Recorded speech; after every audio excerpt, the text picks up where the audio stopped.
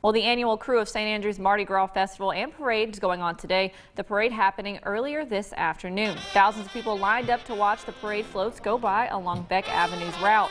Spectators getting ch the chance to catch lots of beads and candy, checking out more than 20 floats passing by, representing local crews and clubs. Residents were glad to have clear skies during the parade, and one resident says this has been the biggest one he's seen yet. I've been coming out here for a lot of years. I'm from here, been here 35 years. This is probably the biggest event I've seen yet.